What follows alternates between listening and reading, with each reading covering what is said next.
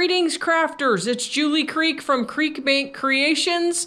My husband Tom and I own a paper arts company in Perrysville, Indiana. Today, I'm here to share with you the third video with our snow globe slash gumball die.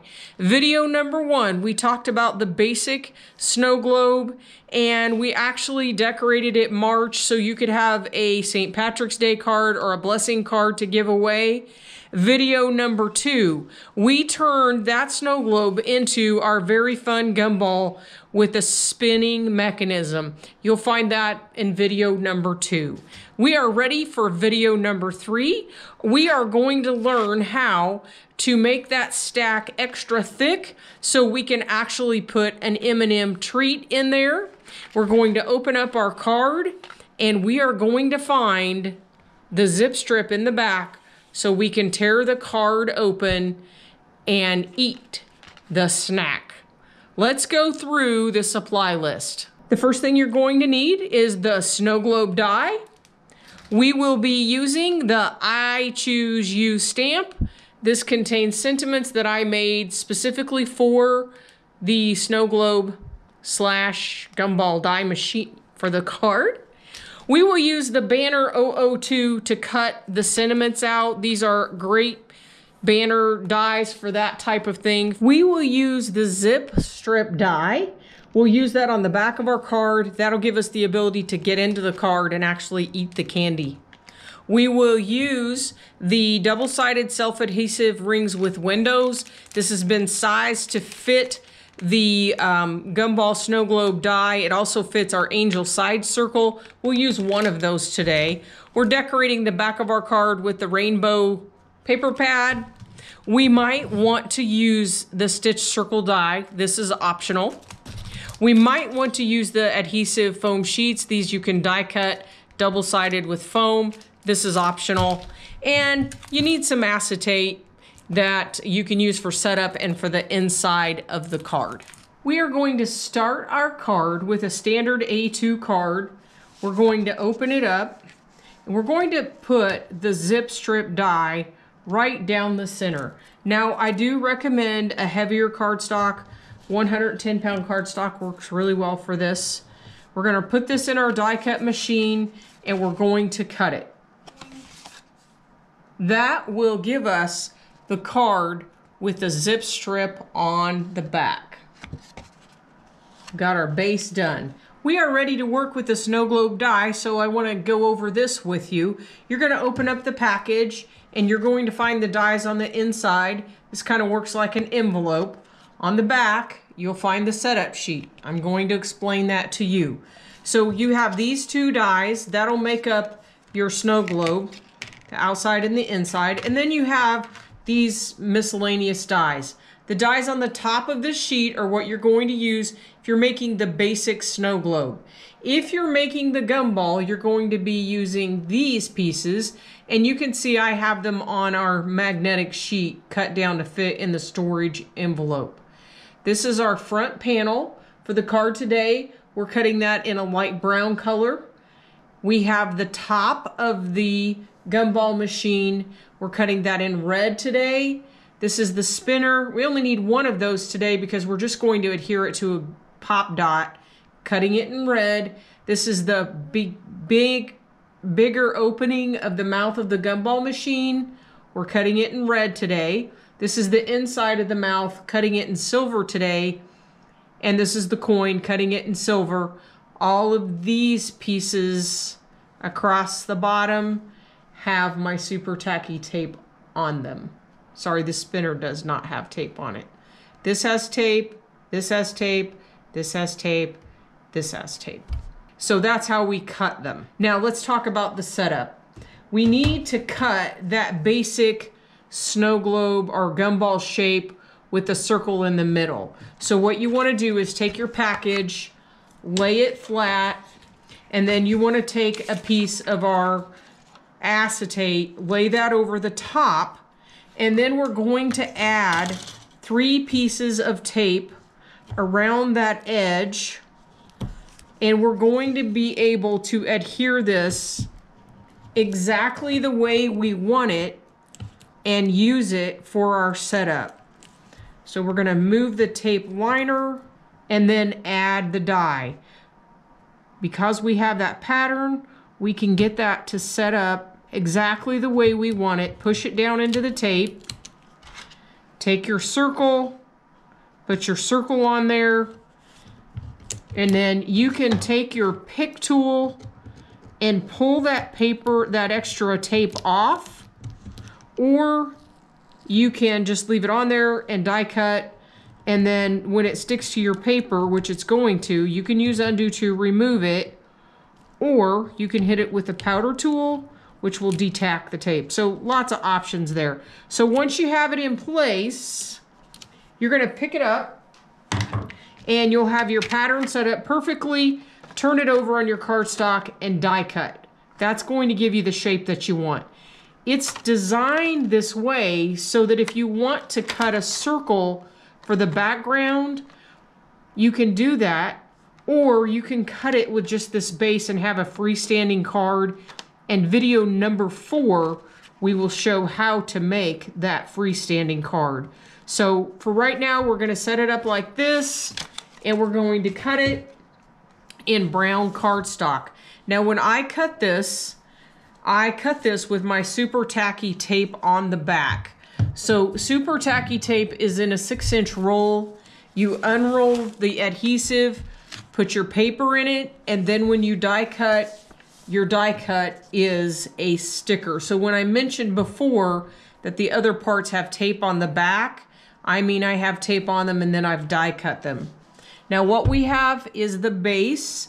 We did actually, we did not need to put adhesive on this area down here.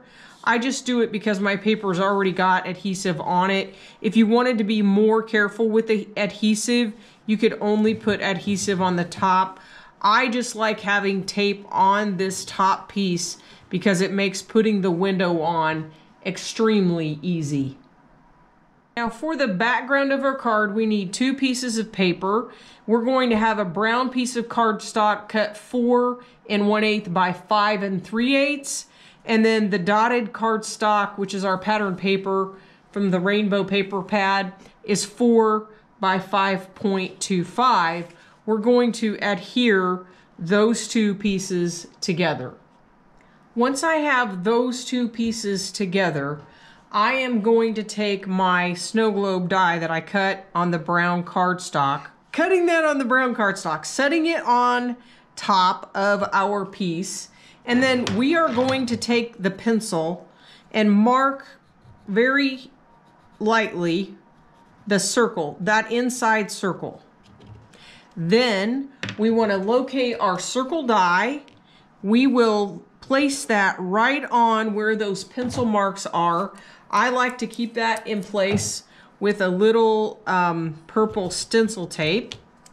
And we are going to die cut that piece out.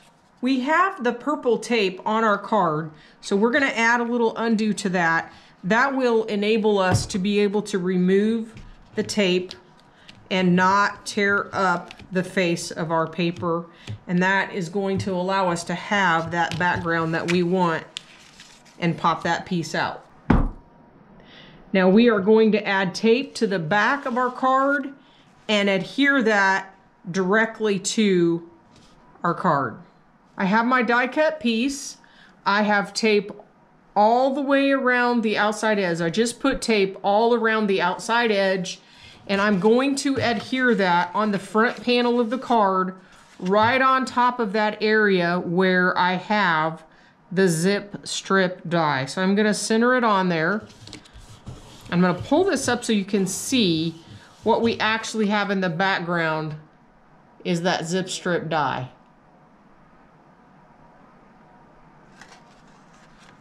Our next step is to take our brown piece that we cut, we're gonna flip it over, and because I have my super tacky tape on there, I'm just gonna run my tool right along this edge. You can do this with your X-Acto knife or pick tool and pull that off and remove the tape liner.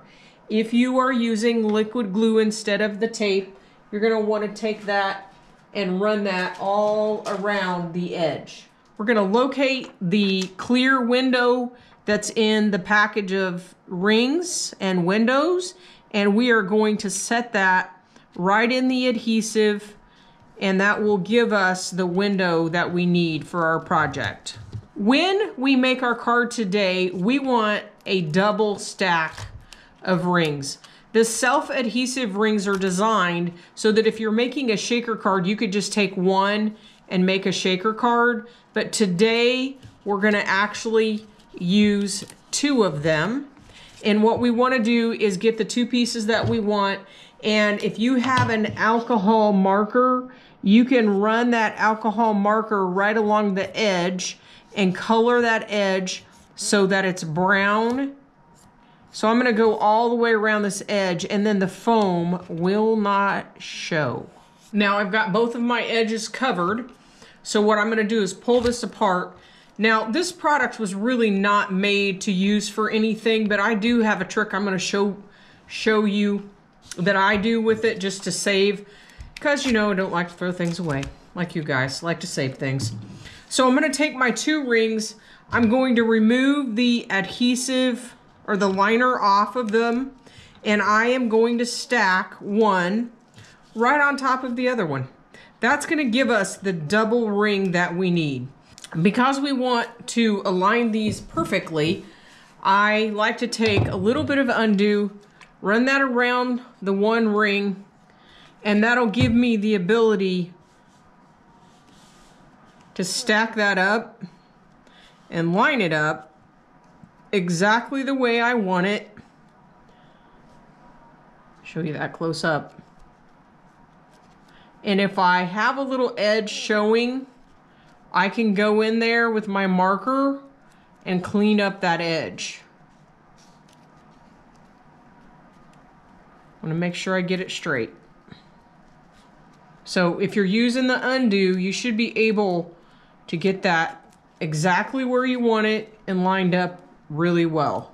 The next step is to remove the liner off of this piece and we are going to adhere that to the gumball card.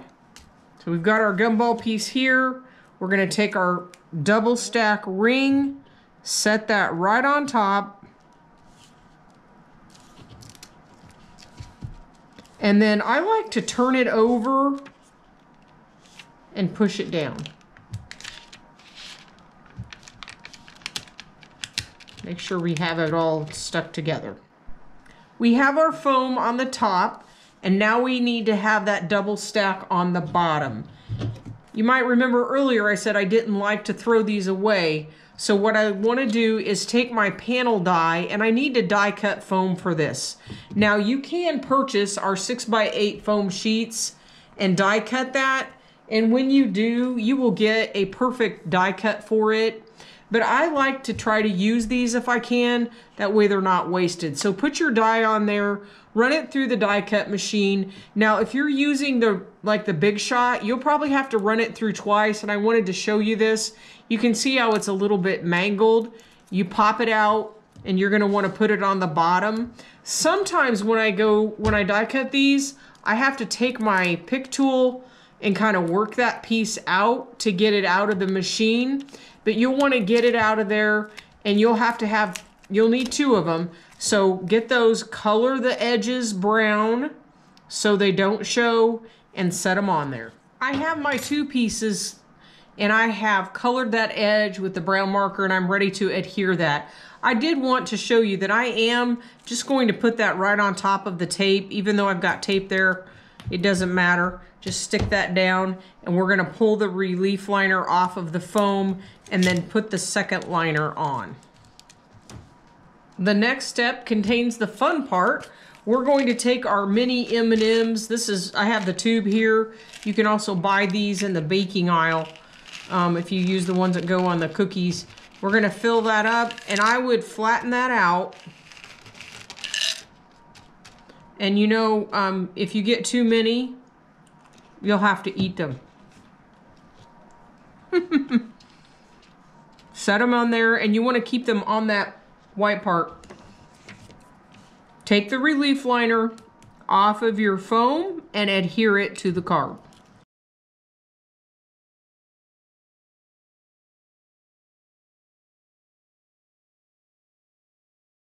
Fun.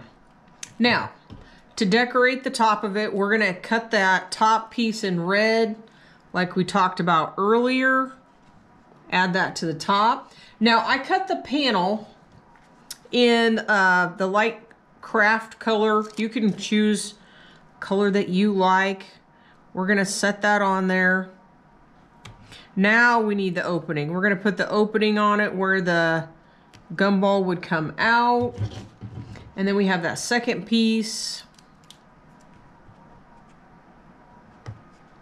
We have the coin that we cut. I cut this on silver cardstock, has our super tacky tape in the back. Just gonna set it in there. Now we have cut the spinner on um, red cardstock and we are going to adhere that with a pop dot. And that's actually our foam that I cut. When you cut that, it leaves a little spot. And then we're gonna take our um, spinner and we're gonna set that right on there. And we have just created our card with candy to eat. All we need, all we have left is to add our title, our little sentiment. Treat yourself to a wonderful day. I'm gonna put tape on the back and adhere that right to the front of the card. And this was stamped with the I Chews You stamp and die cut with the banner 002 die. Thank you so much for watching this video and learning how to make this fun card that allows you to tear the back open and get a treat. We do have a fourth video that I'm getting ready to take care of and shoot, and that is how to use the die to make the stand-up card with the spinning mechanism. That'll be video number four. We are offering a special January 2021. Use the coupon code ZIP and it'll save 15% off your order. Orders over $50 ship for free within the United States. Thanks so much for stopping by.